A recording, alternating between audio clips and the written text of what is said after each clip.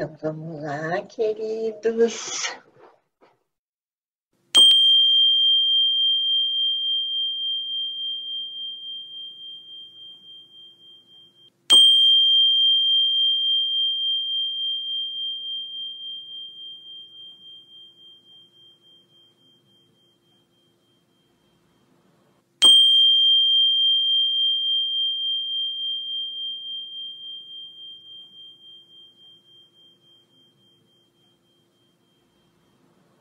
Então, encontrem uma posição confortável. Pode ser sentados numa cadeira, pode ser sentados no chão, com apoio de uma almofadinha ou uma toalha dobrada.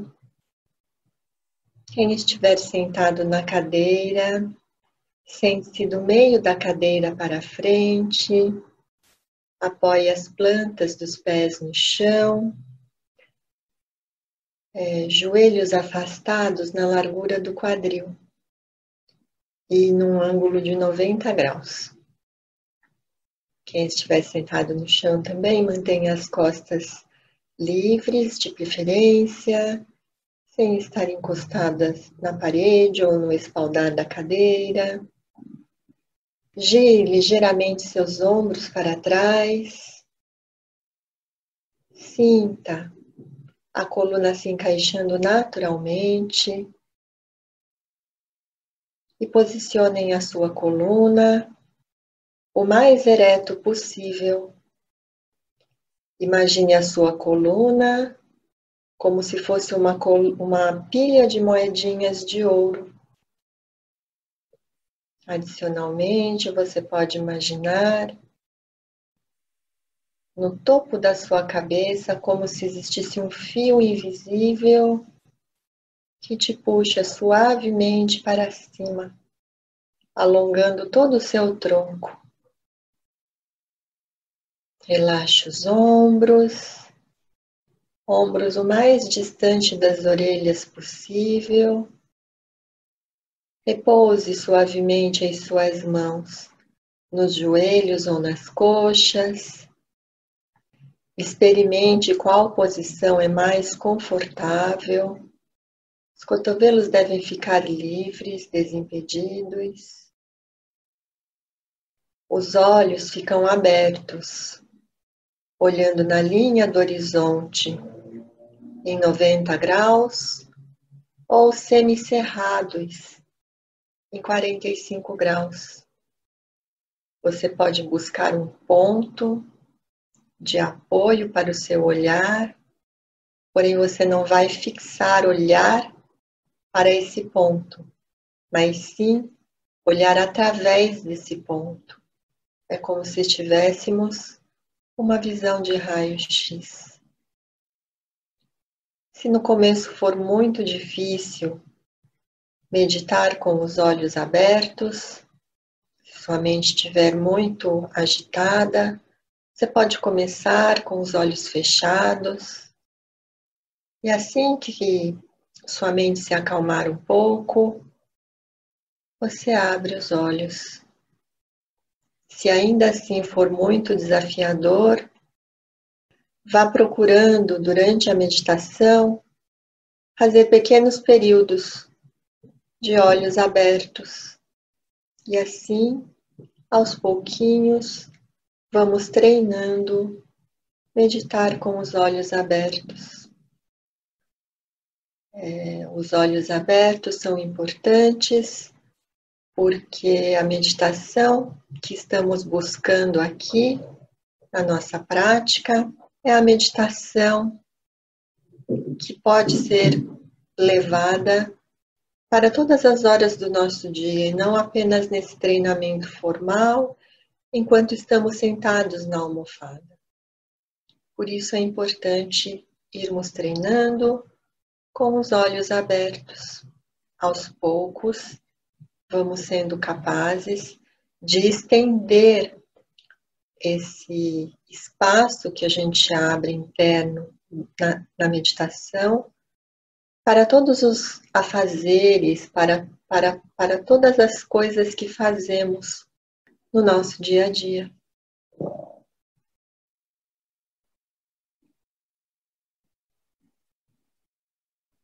Recolha ligeiramente a ponta do seu queixo em direção ao peito. Sinta sua cervical se alongando naturalmente, trazendo conforto para essa região que geralmente fica tão é, tensionada durante o nosso dia.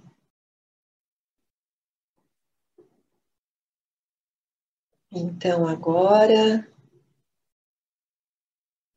vamos fazer o exercício de nos transmutarmos em montanha. Então, perceba a base do seu corpo, bastante estável, trazendo imobilidade e tranquilidade para o seu corpo. Imagine que raízes se projetam para dentro do solo, ajudando a firmar e a estabilizar a nossa base.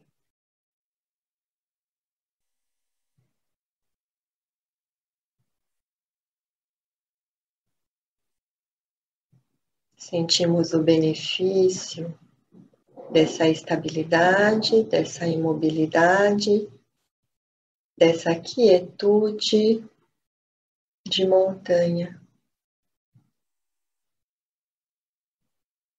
Uma montanha não tem preocupações, não tem pressa ou ansiedade. Ela não precisa ir a lugar nenhum. Ela simplesmente permanece onde ela está, em suave estabilidade. Ela não se preocupa com o ontem, nem tampouco com o amanhã. Ela simplesmente se deixa estar gentilmente no presente.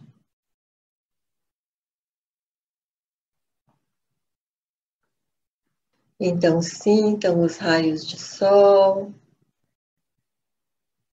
incidindo sobre a, sobre a sua superfície de montanha, te aquecendo, te iluminando. Ouçam os passarinhos trinando, as folhas das árvores e do mato farfalhando. Sinta o vento batendo na sua superfície. Sinta o cheiro do mato que o vento traz. Veja as cores das flores e os diferentes tons de verde que cobrem a sua superfície de montanha. Sinta as gotas de chuva molhando a terra, molhando a sua superfície, penetrando nos interstícios de seu corpo de montanha. Sinto o cheiro da terra molhada, do mato molhado e o gosto adocicado da água da chuva. E por uns momentos, simplesmente desfrute dessa estabilidade da montanha, dessa quietude desse lugar sem pressa.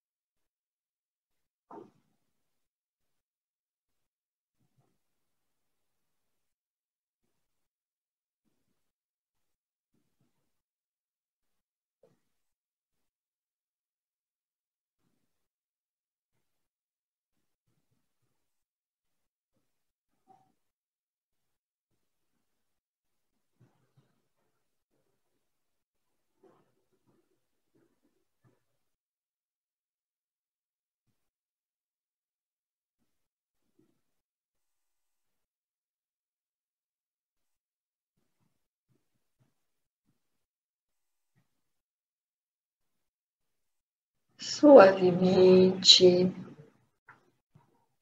vamos conduzindo a nossa atenção para nossa respiração.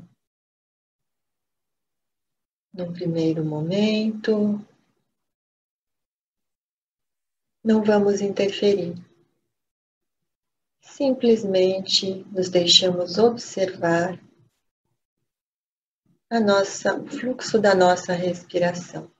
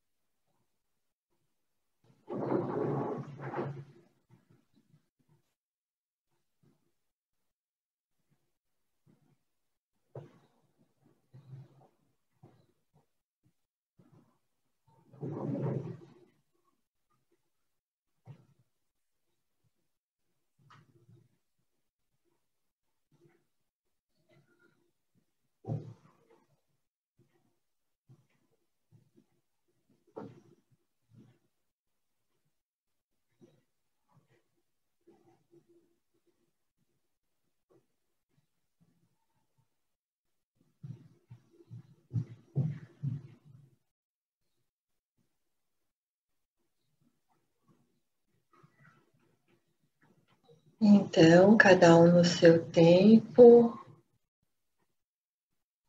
Inspire profundamente e expire devagar.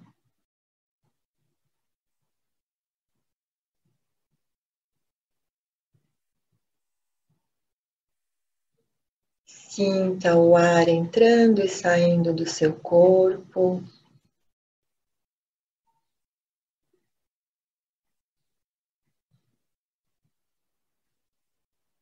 Perceba o caminho que ele faz, a temperatura do ar. A inspiração é um momento agradável, gostoso, de expansão de todo o nosso corpo.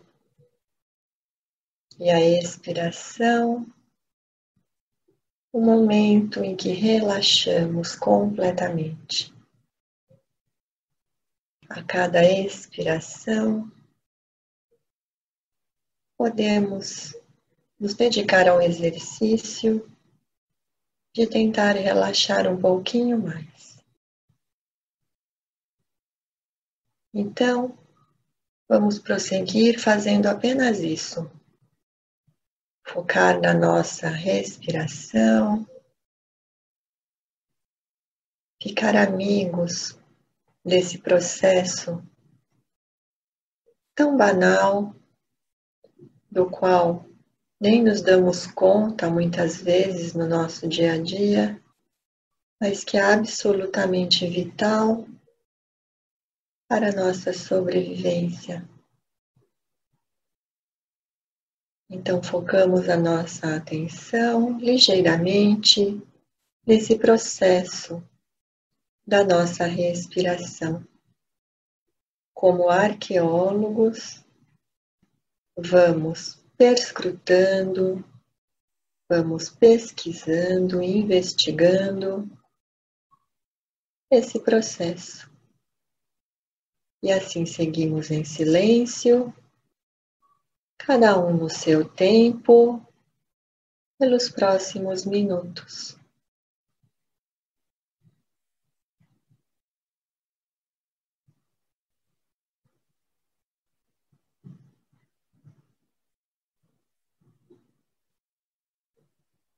Procurem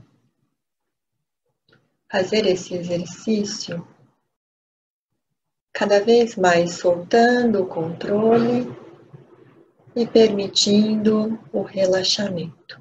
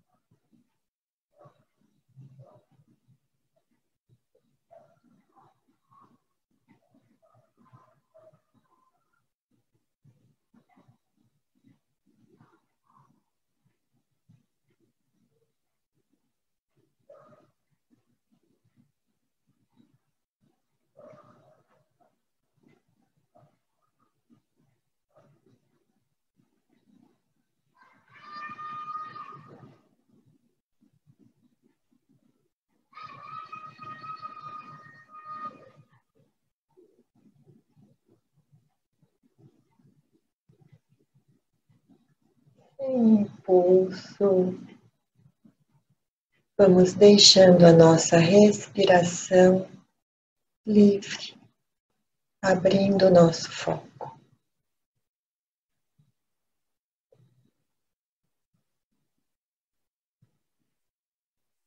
Percebam o espaço interno que se abriu, que se descortinou, que se fez mais claro após alguns minutinhos de silêncio. Então, por alguns momentos, simplesmente vamos repousar nesse espaço interno. Relaxados e atentos.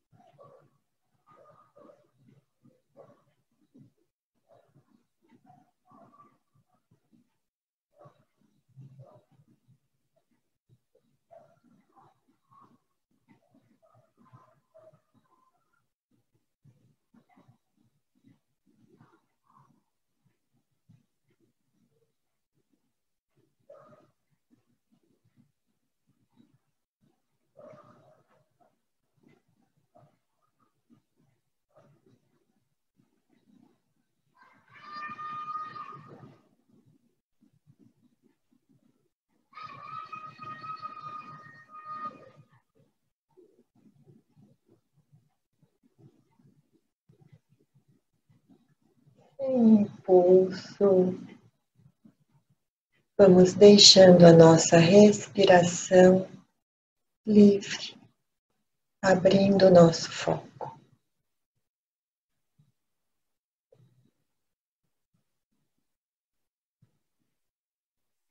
Percebam o espaço interno que se abriu, que se descortinou, que se fez mais claro após alguns minutinhos de silêncio. Então, por alguns momentos, simplesmente vamos repousar nesse espaço interno. Relaxados e atentos.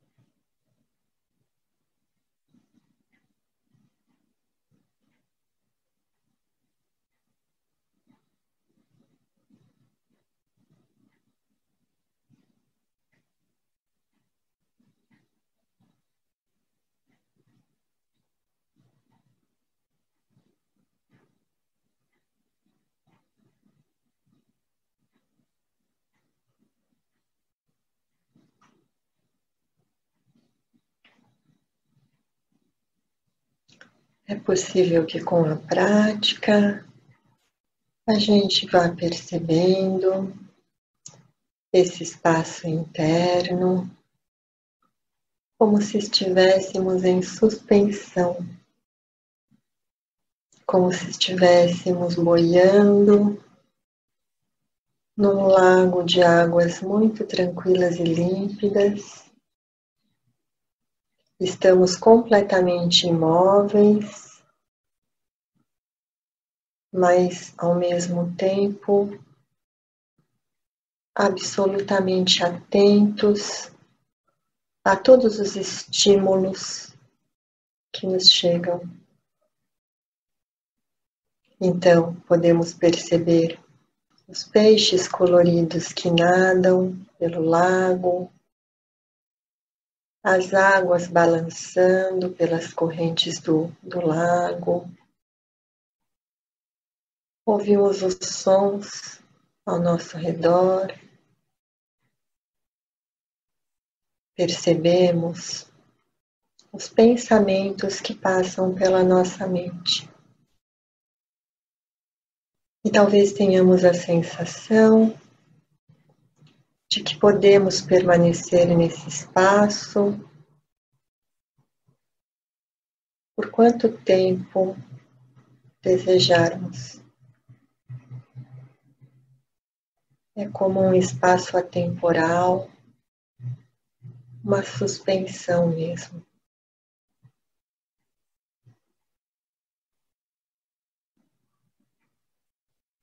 Saiba que esse é o seu refúgio interno, que está incessantemente presente e disponível para você.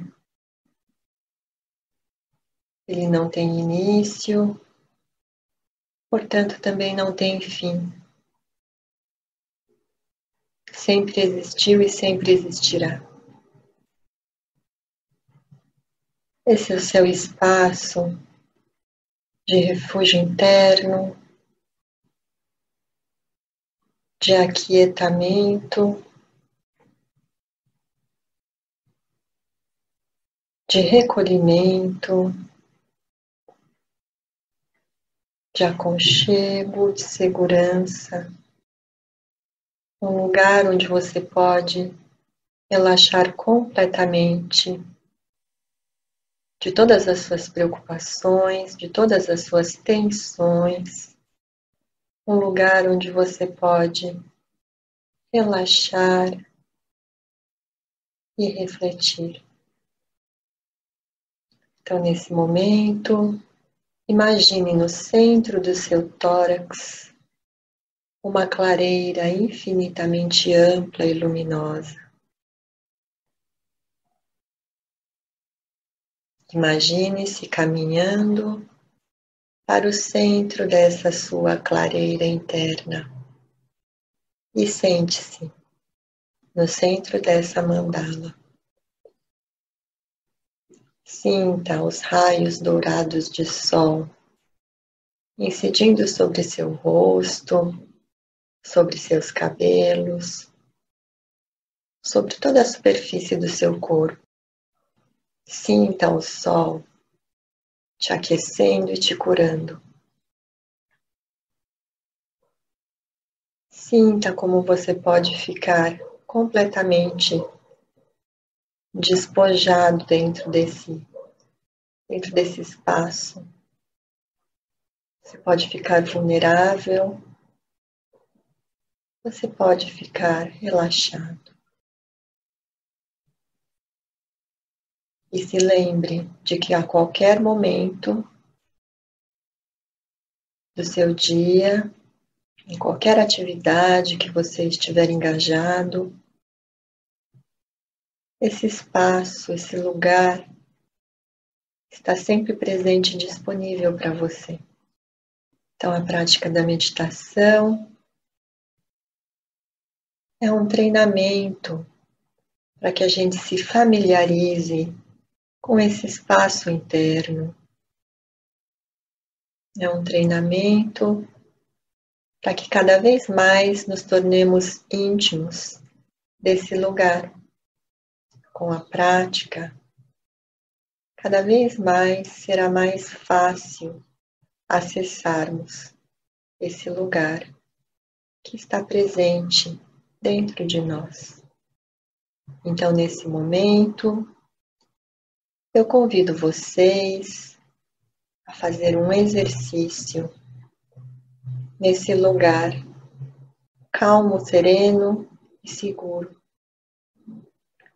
Então, vou pedir para vocês pensarem em alguma situação onde vocês sentiram ou sente culpa ou arrependimento por alguma coisa que vocês tenham feito. É uma sensação desconfortável, é um sentimento que geralmente nos debatemos com ele, que não gostamos de sentir, que não queremos sentir. Ao mesmo tempo, parece que ele está sempre grudado na gente, uma vez que ele nos assalta, podemos cair numa situação de autoflagelamento que não leva a lugar nenhum.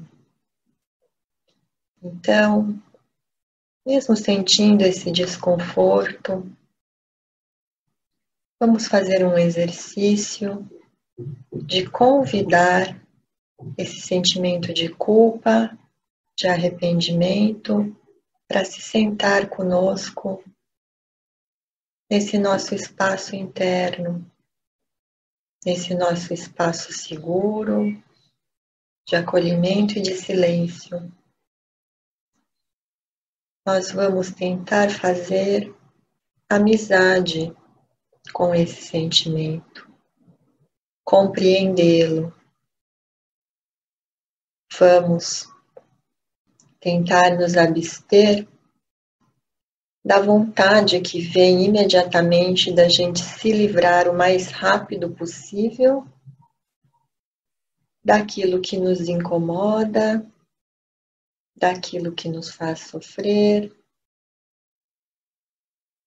daquilo que nos desassossega. Simplesmente olhamos, repousamos com esse sentimento. Ele não é bom e nem ruim. Então, convide a sua culpa, o seu arrependimento, estenda as suas mãos e convide-o a se sentar junto com você no centro de sua mandala. Procure compreendê-lo completamente. Procure investigar quais são as suas raízes mais profundas. a culpa, o arrependimento tem um componente positivo, que é fazermos uma análise das nossas ações, das nossas falas, dos nossos pensamentos, de coisas ou de atitudes que talvez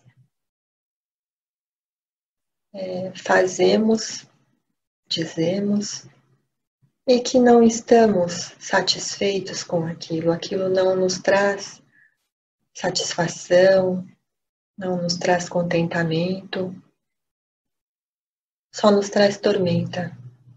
Então, esse é o lado positivo da culpa. É conseguirmos discernir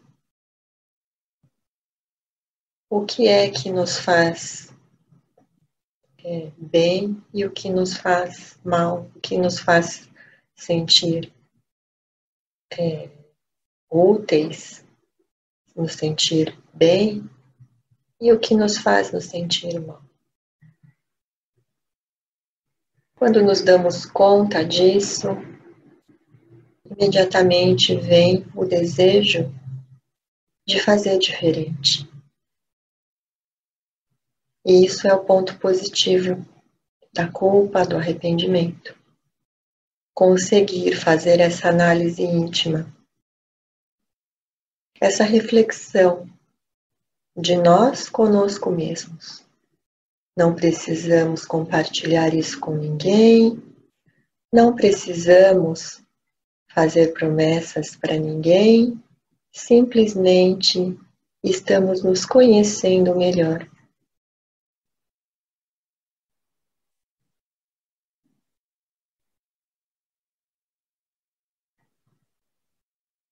Porém, a culpa pode chegar num, num, num determinado ponto em que apenas nos martirizamos,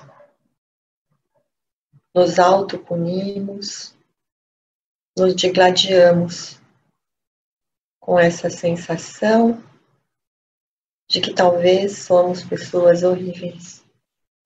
Nesse ponto, a culpa não é mais benéfica, ela não traz benefício nem para você, nem para outras pessoas. Então, simplesmente solte, deixe ela ir. Ela já cumpriu o seu papel e você não precisa se martirizar e se culpar. Se houver algo que você imagina que possa fazer a respeito dessa situação que lhe traz culpa, faça. Faça esse gesto em direção a você ou em direção ao outro, dependendo da situação. Se for possível, você dirigir alguma palavra de conforto ou de desculpas para outra pessoa ou para você mesmo. Se não for possível, simplesmente deseje do fundo do seu coração que aquela pessoa seja feliz e se liberte do sofrimento. Você não precisa necessariamente é, dizer isso em palavras, literalmente, para outra pessoa, se isso é muito difícil e desafiador para você. Mas vá cultivando dentro de você essa motivação. Ninguém precisa saber, você pode falar isso de você para você mesmo. E solte a culpa, solte o arrependimento, não pense que você é uma pessoa horrível por ter feito isso ou por sempre recorrer nesse mesmo caminho. Como diz o João Vale, aluno do Lama, maravilhoso, você não sabia fazer diferente. Então solte. E a partir do momento que temos essa consciência, vamos procurar fazer de uma maneira diferente. E se auto-perdoe e se engaje nesse caminho. E não importa se nesse trajeto a gente cair várias vezes, voltar, voltar a incorrer no mesmo hábito que estamos tão arraigados, tão acostumados. Quando se der conta disso, simplesmente procure soltar, procure não se culpar, solte. E assim que for possível, refaça os seus votos de continuar trilhando um caminho diferente porque aquele outro caminho você já sabe onde vai dar, você já sabe que é um caminho de sofrimento para você e talvez para os outros, então você não quer mais trilhar aquele caminho. Então você vai buscar um caminho diferente. Então, por alguns momentos, simplesmente repouse na sua clareira interior com esse sentimento de culpa Procure fazer esse exercício que eu descrevi. Mas se for extremamente desafiador, perturbador, simplesmente relaxe. Relaxe, procure não expulsar o sentimento para você se livrar dele, mas simplesmente relaxe na presença dele. Inspire e expire profundamente. Apenas isso. Por alguns instantes, você está num lugar completamente seguro, acolhedor, não vai acontecer nada de terrível. Simplesmente procure repousar. A gente vai se familiarizando aos poucos com esse sentimento.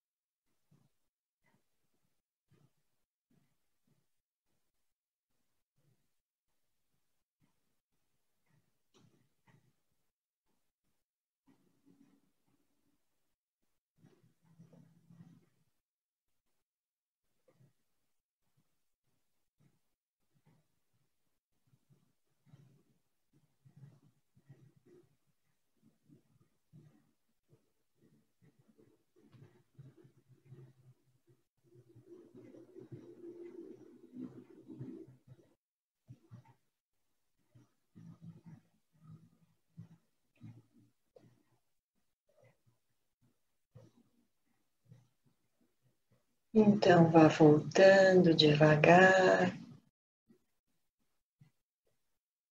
Pegue nas mãos da sua culpa, olhe nos olhos dela. Se possível, dê um abraço nela e deixe-a partir.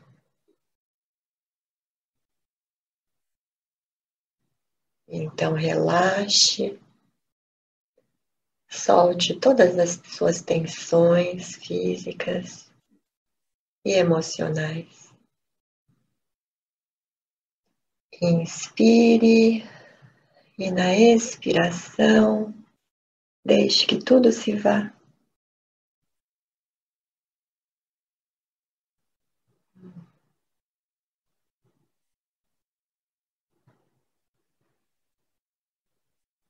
Ah.